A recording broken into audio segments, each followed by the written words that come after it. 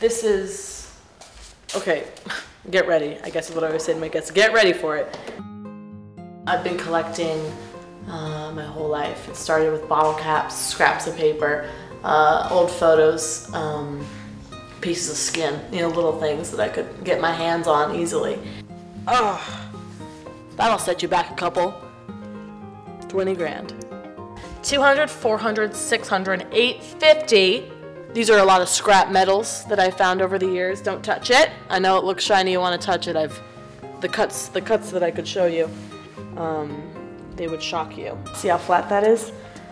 Ooh, that is a stubborn rock. I had people rapping on the door, you know, oh, we're worried about you. I said, don't worry, I'm fine.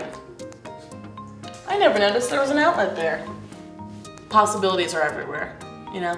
You have this, this gorgeous kind of brown shade, right? That's literally oxygenated um, Tuscan metal. I am homeschooled. 500, 900, 2 grand, 4 grand. How? If uh. If I do this, what happens? God.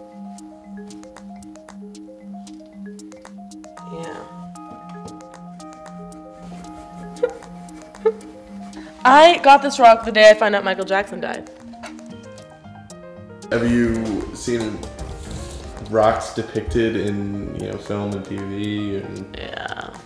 Is that normally done incorrectly? Yeah, you know, you know, you you watch the way the media portrays rocks, and you just kind of go, okay, you know, maybe one day they'll come around, but they probably won't. But it's fine.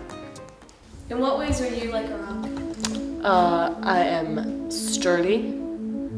I don't take no for an answer. I am limitless.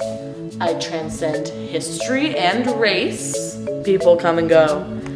Technology comes and fades, but the rocks remain the same. Family comes and goes. Rocks, those stay.